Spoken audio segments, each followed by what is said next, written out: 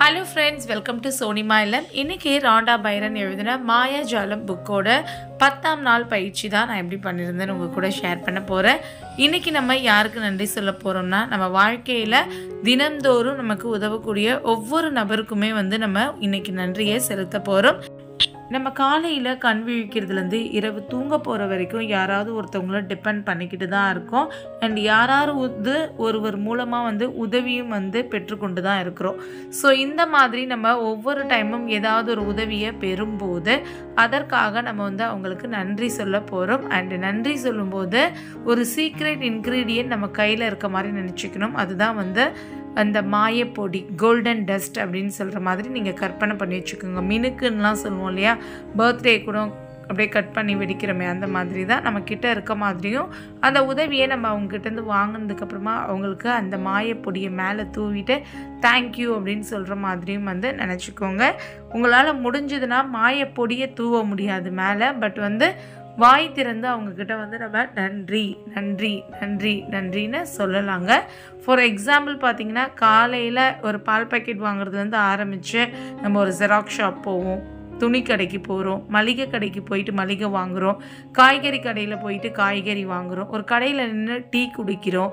And வந்து ஒரு print out எடுக்கிறோம். இந்த மாதிரி நிறைய விஷயங்களில் நம்ம வந்து கம்யூனிகேஷன் இருக்குது ஒருத்தவங்க கூட இன்னொருத்தவங்களுக்கு. ஸோ அந்த மாதிரி நமக்கு சேவை புரியக்கூடியவங்களுக்கும் வந்து நம்ம நன்றியாக இருக்கணும். சில சமயங்களில் கடைகளில் கூட ஏதாவது ஒரு வாக்குவாதம் வா வரும் இல்லையா? எல்லாருக்குமே வரும்.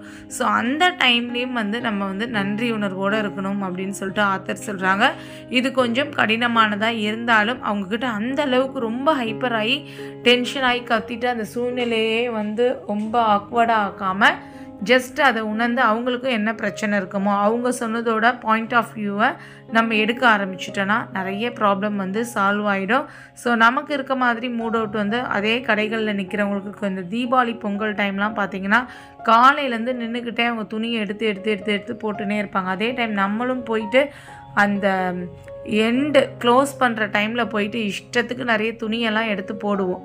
நானும் நிறைய பண்ணியிருக்கேன் நிறைய பேரை பார்த்தும் இருக்கேன். போட்டுட்டு அதையும் வாங்காமல் வரும்போது அவங்க வந்து எரிச்சலே அடையக்கூடாதுன்னு நம்ம நினைக்கிறதுல என்ன நியாயம் இருக்குது ஸோ அப்போ அவங்க ஏதாவது ஒரு வகையில் எரிச்சல் அடையுவாங்க தான் அந்த நேரத்தில் நம்மளும் ஹைப்பராகி அவங்கள திட்டிட்டு இன்னும் ஒரு சில பேர் வந்து பார்த்திங்கன்னா மேனேஜர்கிட்ட சொல்லி உங்கள் வேலையை விட்டு எடுக்கிறேன்னு சொல்லிட்டுலாம் பண்ணுவாங்க. அந்த மாதிரிலாம் வந்து இந்த நன்றி உணர்வை நம்ம அவங்க மேலே செலுத்தும் போது நமக்கு காமனாகவே அந்த மாதிரியான எண்ணங்கள்லாம் வராது. நான் வந்து இதை இப்போ ரீசன்ட் டைமில் அதிகமாக உணர்கிறேன் நம்ம வந்து உண்மையிலே ஒருத்தவங்களுக்கு வந்து நன்றி சொல்கிறோம் மனசார அப்படின்னா கண்டிப்பாக அவங்க மேலே நமக்கு கோபமோ வேறு எந்த விதமான காழ்ப்புணர்ச்சியோ வந்து தோன்றாதுங்க. ஜஸ்ட்டு வந்து ஒரு மேலுக்கு தேங்க்யூ அப்படின்னு சொல்லிட்டு வந்தோம்னா கண்டிப்பாக வந்து அது ஒரு உண்மையான நன்றி கிடையாது. ஸோ நமக்கு கிடைக்கக்கூடிய ஒவ்வொரு உதவிக்கும் வந்து நம்ம யோசித்து நன்றியாக இருக்கணும். நன்றி மறப்பது நன்றன்று நன்றல்லது அன்றே மறப்பது நன்று அப்படின்னு சொல்லிட்டு திருவள்ளுவர் சொல்லியிருக்காங்க. அதே போல் காலத்தினார் செய்த உதவி சிறிதெனினும் நாளத்தின் மானப்பெரிது அப்படின்னு சொல்லியிருக்காங்க.